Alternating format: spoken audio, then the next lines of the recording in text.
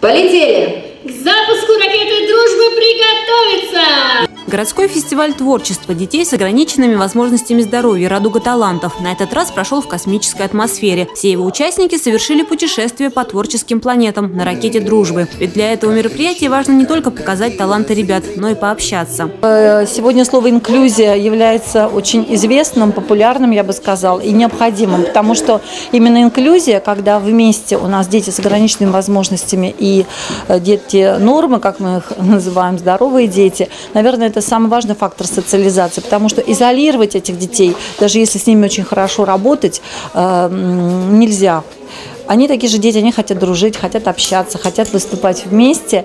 И поэтому э, у нас вот в данном случае вот э, и студия, вот наша, с которой мы выступали, студия инклюзивного танца, она называется «Вместе». Фестиваль «Радуга талантов» более 10 лет. Ежегодно в нем принимают участие около сотни детей с ограниченными возможностями здоровья в возрасте от 6 до 18 лет. Кто-то проявляет себя в декоративно-прикладном или художественном творчестве, а кто-то танцует и поет. Шкатулка – это стуколка для всяких разных штук. И если потрясти ее, услышишь тук-тук-тук, Выход на сцену для многих из этих ребят настоящий подвиг. Не забыть слова, не разволноваться порой бывает очень сложно.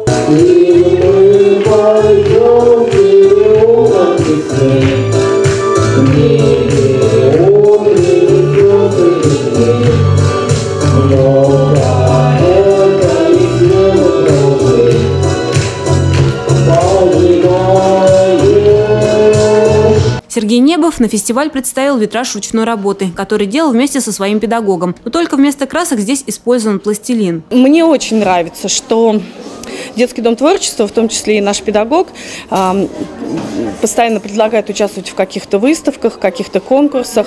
А, даже если Сережа ну, там не получает никакое призовое место, иногда получает, дает грамоты, благодарственные письма. То есть для таких детей это тоже очень важно. Даже если он не говорящий ребенок, но он все равно радуется каждому достижению, а я еще больше радуюсь.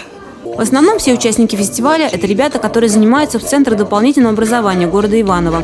А этот концерт своего рода отчет за прошедший год. У всех достижения ведь разные. Вот. Кто-то сделал кисточкой три мазка, это для него уже достижение с его, допустим, заболеванием, да, а кто-то станцевал на сцене, и поэтому мы мест здесь не раздаем. У нас все ребята получают дипломы, все получают сладкие подарки. Подарить праздник и детям, и взрослым такую задачу ставят организаторы фестиваля «Радуга талантов». И это понятно. Если довольны ребята, то их родители счастливы тоже. Любовь Почерникова, Денис Денисов, РТВ Иваново.